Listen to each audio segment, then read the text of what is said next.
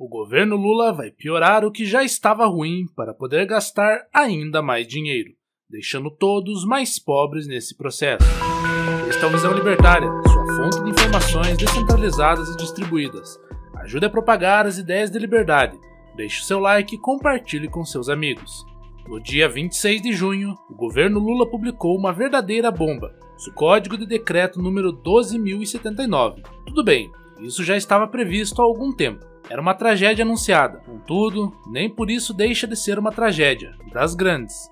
Com esse decreto, não apenas a sistemática da meta de inflação a ser cumprida pelo Banco Central foi piorada, como também a possibilidade de que o presidente da autarquia seja responsabilizado por isso foi praticamente extinto. Mas vamos por partes. O governo Lula trava uma briga com o Banco Central por conta da taxa básica de juros, a Selic, desde o início de seu mandato. Esse desnecessário atrito tem prejudicado de forma geral a economia brasileira, mas esse sequer é o maior problema causa de toda essa confusão é bastante simples. Desde o seu primeiro mandato, Lula só conseguiu simular uma economia em crescimento por meio de juros artificialmente baixos e crédito subsidiado, famosa bolha do crédito, que nós conhecemos bem. Como o governo Bolsonaro teve bom senso de conferir autonomia para o Banco Central, não há nada que o Lula possa fazer, neste momento, para provocar um corte brusco na taxa de juros. Campos Neto, o presidente da autarquia, tem total liberdade para agir de forma técnica, sem ceder a pressões políticas.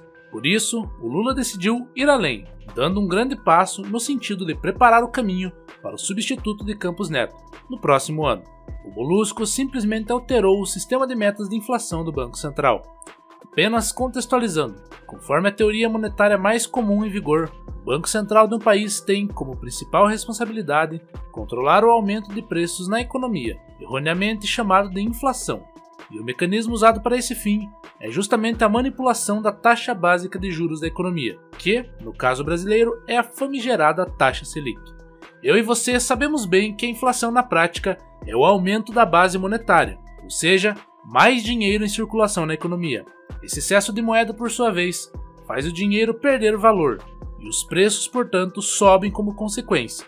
É aí que entra tal mágica dos juros, coisa de estatista mesmo. Ao elevar a taxa Selic, o Banco Central dificulta os financiamentos e as compras parceladas, reduzindo a demanda. Por outro lado, a poupança se torna mais atraente que o consumo. Mais pessoas deixam de comprar para investir em renda fixa, algo que também reduz a pressão da demanda. Em ambos os casos, os preços tendem a cair, o sentido oposto, embora mais raro, também pode ser observado. No caso brasileiro, existe uma meta de inflação a ser alcançada pelo Banco Central, que por sua vez é estipulada pelo Conselho Monetário Nacional, o CMN. Atualmente essa taxa é de 3%, com uma margem de tolerância de 1,5 ponto percentual. Ou seja, se a inflação acumulada no Brasil atingir até 4,5%, tudo estará dentro dos conformes. O grande ponto do decreto em questão, porém, não é a meta em si, que continua existindo. O alvo do Lula nesse caso é o intervalo de tempo em que a medida da inflação é feita. Até então, era usado o critério do ano calendário, ou seja, taxa de juros tinha que estar dentro dos limites da meta entre 1 de janeiro e 31 de dezembro de determinado ano. O Banco Central precisava se virar ao longo dos meses do ano para entregar esse resultado, Agora, com a nova sistemática chamada informalmente de meta contínua, não se usa mais o ano calendário como critério, mas sim uma janela variável de 12 meses, que se desloca mês após mês. A meta estabelecida precisa ser atendida dentro dessa janela variável de forma contínua. Mas isso parece ser até melhor que o modelo anterior, não? Afinal de contas, o Banco Central vai ter que fazer um esforço contínuo para manter os preços estáveis. Acontece que o pulo do gato está no artigo 2 desse decreto. Esse dispositivo estabelece que a meta só será considerada descumprida se a inflação não ficar dentro do patamar estabelecido por seis meses. Ok, mas são seis meses dentro dessa janela de 12 meses, certo? Errado! Precisam ser seis meses contínuos de inflação disparada. Exatamente! Com essa nova sistemática, a inflação oficial poderá ficar detonada por cinco meses consecutivos. Se o Banco Central, por alguma mágica ou com a ajuda do Márcio Porchman e do IBGE, conseguir controlar a escala de preços no sexto mês, então tá sussa. A contagem dos meses vai ser reiniciada e vida que segue. Nada para se ver por aqui. Enfim, essa nova sistemática vai passar a valer já no próximo ano, e a partir de 2027 novas metas poderão ser estabelecidas, uma vez que o decreto em questão exige um intervalo de 36 meses para isso. Você percebeu a grande sacanagem dessa história? Logo de cara, dá para ver que o Lula quis, em primeiro lugar, diferir a meta da inflação de forma imediata, empurrando o problema com a barriga por mais seis meses. Além disso, é importante lembrar que a partir de 1 de janeiro do próximo ano, o Banco Central não terá mais o comando de Campos Neto. No lugar do Neto, do famoso Bob Fields, vai entrar algum homem do Lula, que não apenas será totalmente subserviente ao molusco, como vai poder brincar com a taxa de juros ao bel prazer do seu chefe, sem se preocupar tanto com a inflação. Vamos lá!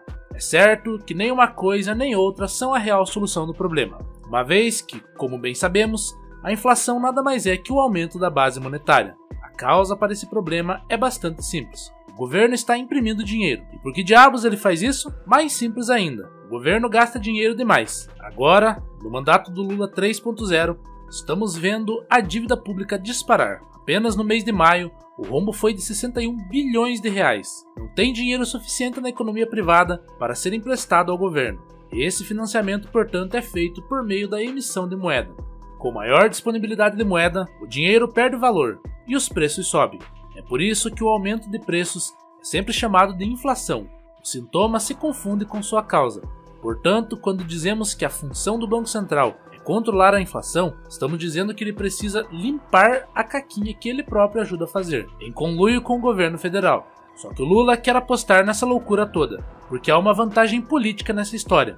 Até que a inflação cobre seu preço da população, vai parecer que a economia está melhorando. Afinal de contas, todo mundo está com mais dinheiro, não é mesmo? Se o governo conseguir ainda casar essa impressão de dinheiro por meio da gastança estatal com juros artificialmente baixos, então o voo da galinha estará completo. Foi exatamente isso que aconteceu no passado, nos outros governos petistas, e é exatamente isso que o Lula vai fazer de novo. O problema aí é bastante conhecido, até porque o Brasil tem um histórico nesse sentido. Essa conjunção entre crédito subsidiado e desvalorização da moeda vai arruinar a economia brasileira por completo. No passado, nós tivemos um vislumbre desse cenário, só que o Brasil contava com o boom das commodities para que a peteca não caísse. Nós perdemos uma oportunidade única de nos tornarmos um país desenvolvido. Contudo, pelo menos não entramos numa crise pior. Agora, em 2024, não tem boom das commodities para nos salvar, então o buraco vai ser muito mais fundo. Do ponto de vista libertário, tudo isso soa como uma grande bobagem estatal, porque de fato é uma bobagem. Para início de conversa, a existência de coisas como Banco Central, uma moeda de curso forçado e o próprio Estado é algo completamente antiético. E ver pessoas tendo controle de algo tão importante quanto nosso patrimônio nos revolta ainda mais. Mais curioso, contudo, é que o governo causa inúmeros problemas por meio de sua intervenção, e parece sempre acreditar que a solução para esses problemas é ainda mais intervenção. Enfim, de forma geral, o novo decreto do Lula é exatamente aquilo que parece ser uma tragédia completa. A conjunção entre o arcabouço fiscal e a meta contínua da inflação vai permitir ao governo gastar mais dinheiro, sem temer as consequências para o mandato do Lula. Já as consequências econômicas, quem se importa? É o povo que vai pagar essa conta, não os políticos. De qualquer forma, se alguém ainda tinha dúvidas do que é o governo Lula, bem, acho que esse tipo de gente nunca vai acordar para a realidade mesmo. O maior problema dessa história, contudo, será a herança maldita que esse decreto vai deixar, uma piora considerável nos fundamentos da economia de um país que, sob todos os aspectos, sempre foi um desastre. Por isso, se prepare. Se quiser proteger seu patrimônio no médio e longo prazo, faça sua poupança em Bitcoin.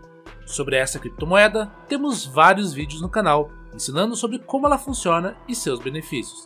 Se quiser continuar nesse assunto, deixamos como recomendação o vídeo Onde Guardar Bitcoin. O link está na descrição. Obrigado pela audiência. Esse artigo foi escrito por Quintessência, revisado por historiador libertário e narrado por Gordinho Caipira. Esse é um canal colaborativo. Um artigo seu pode virar vídeo aqui também, sabia? Basta se cadastrar no nosso site visãolibertaria.com e enviar seus artigos por lá. Não deixe de se inscrever no canal e clicar no botão da campainha para ser avisado de novos vídeos. Até a próxima!